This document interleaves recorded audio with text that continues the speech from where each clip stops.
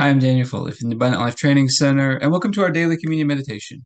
Where today we're taking a look at a passage of scripture in Jeremiah chapter 6, where God tells the people, Ask for the ancient paths and to walk in it, to walk in this godly way.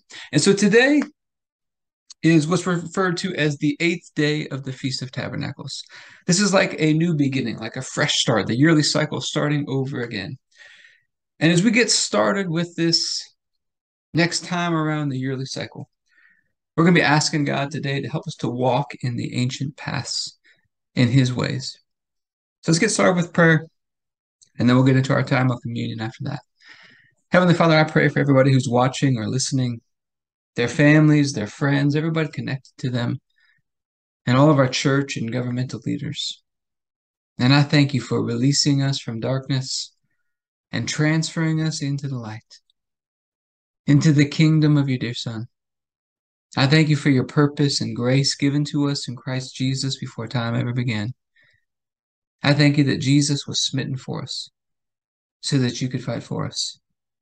And I keep asking that you, the Father of glory, would give us the spirit of wisdom and revelation so that we would know you better that the eyes of our hearts would be enlightened to know the hope to which you've called us, and the riches of your glorious inheritance that is in us, and the immeasurable greatness of your power to us who believe.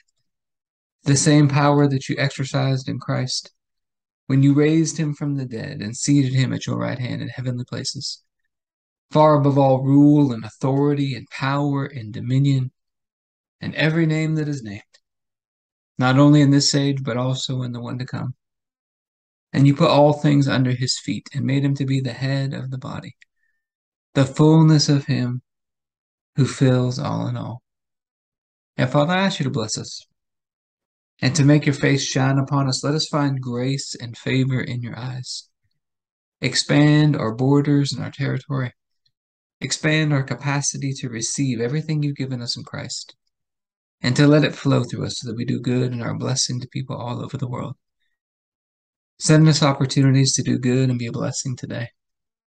And help us be sensitive to those opportunities and make the most of them. Keep your hand on us and help us do today what's right and best in your eyes, and do it with peace and joy and confidence in you. I ask you to stretch out your hand to heal and do signs and wonders and keep us from evil and pain. Through the mighty name of Jesus. Amen. All right, we're going to go through our filters for today. So these filters are short things that I write at the top of my journal every night as a way to help me stay in rhythm with God, to keep things top of mind, and to filter my decision making. I like to start with the big picture vision, which for me personally, that's abundant life training centers all over the world making the body of Christ healthy and beautiful. About 10 years ago, my life completely changed course when Proverbs 13 22 inspired me to start creating manuals and lessons and teaching for all the different areas of life. It says a good man leaves an inheritance for his children's children. And so I set out to create manuals for areas like purpose and health and family and finances, order, time, and community. But when I got started, I had no clue where to start. So I began to seek after God. He began to show me this ancient path. This ancient path, this completely different way to operate my life. He began to show it, began to teach me, began to train me. It turned into a series of books and courses and blueprints and now partners that we have called the Abundant Life Blueprint. And the goal is to build abundant life training centers all over the world that are implementing these blueprints, thriving communities of people doing this together, doing it together in partnership, doing it together in unity, making the body of Christ healthy and beautiful. And this year in 2022, we've been focused on the year of the beautiful land. In the Old Testament, God told the people he's going to give them the best and most beautiful land in the entire world as their inheritance. And that's symbolic for us of this rich inheritance that we have in Christ. And this year, God's been teaching us how to possess that land, hold a hold fast to it by filling up the basket of praise. And we've talked about the example of two baskets on a balancing scale. On one side, you got a basket full of all the issues and problems that we face. And we could fill that basket up with venting and complaining and pouting. Or there's another option the basket of praise. Filling up the basket of praise, praising God for who He is, praising Him for all that He's done for us in our lives, praising Him for all that He's done for us in Christ, all of His promises in Christ. Now, this is not denying that there's issues or problems. We can throw those problems into that basket of problems, but then we got to leave them there. We're going to turn around and we're going to go back and fill up that basket of praise. And it's going to help us to walk in those promises, to keep them and to hold fast to them. Help us to magnify the light. And then this month in October of 2022, our focus has been on understanding the times. In First Chronicles chapter 12, it says the people of Issachar understood the times, and because of that, they knew what to do. Understanding leads to knowing. Understanding leads to knowing what's the best course of action to take. And I believe the most important thing for us to understand is God's grace. Colossians 1 6 says, The gospel bears fruit in our lives ever since the day we understood God's grace. Understanding that in the invisible world where we can't see Him do, working all the time, God is working continually for our good. Even when we feel like we've missed it and we've fallen short, He keeps working for our good because it's grace that changes our hearts, gives us the power to walk out the things that we know to do, changes us as people. And then this week, on our yearly cycle. Think of the yearly cycle as a circle of a year, a 360 degree view of who God is and all that He's done for us in Christ. Different times of the year. Give us little nudges back in the right direction, give us reminders. And right now, today is what's called the eighth day of the Feast of Tabernacles. In the book of John, it was called the last great day. It was the day when Jesus stood up and said, If anyone is thirsty, let him come to me. And out of his innermost being will flow rivers of living water. It's a reminder today of God's greatness, the greatness of Jesus, that he wants to make us great. It's a reminder of his grace, a fresh start, a new beginning. And as we get started on this new beginning, we're going to be asking for these ancient paths today. So here's the scripture Jeremiah chapter 6, verse 16.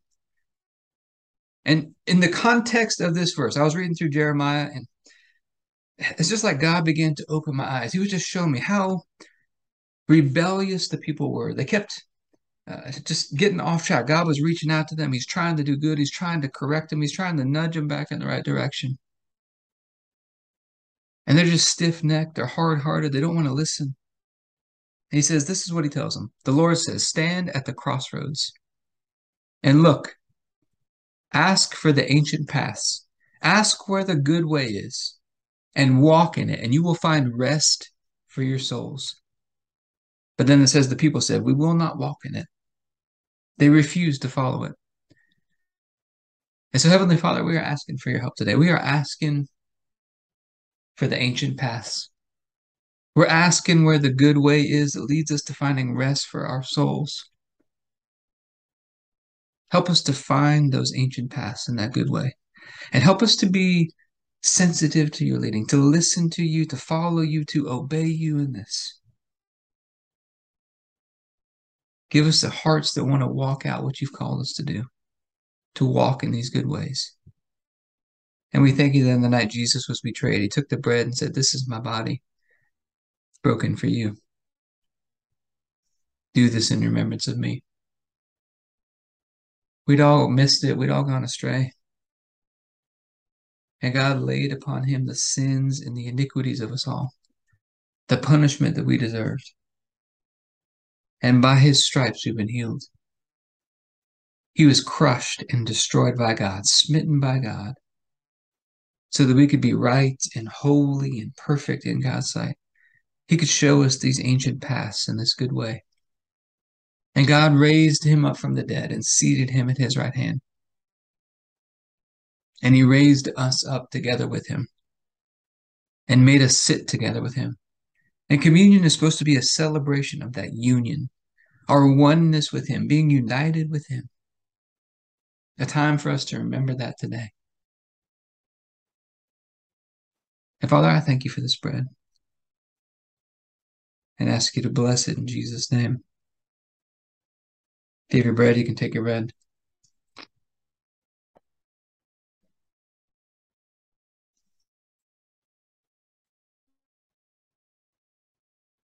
Then after supper, Jesus took the cup. He said, This is the cup of the new covenant. In my blood, poured out for the forgiveness of sins for many. And it's the forgiveness of sins that releases us from darkness and transfers us into the light, into the kingdom of Jesus. And he's a great king. He makes his people great. His blood washes us and cleanses us, gives us this fresh start in life today. We have this reminder of this today. A fresh start in life. Walking on these ancient paths with God. Walking it together with Him. So, Father, I thank you for this cup and ask you to bless it in Jesus' name. If you have your bread or juice, you can take your juice.